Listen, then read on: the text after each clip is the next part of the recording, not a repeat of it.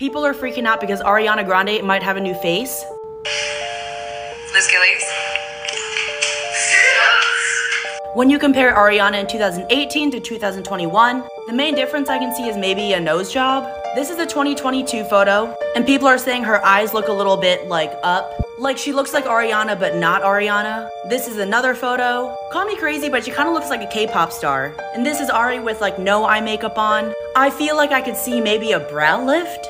But yes, this photo from 2022 is definitely different from this type of look, whether it's makeup or plastic surgery. But this video was an impressions video, so maybe she was just doing the impression really, really well.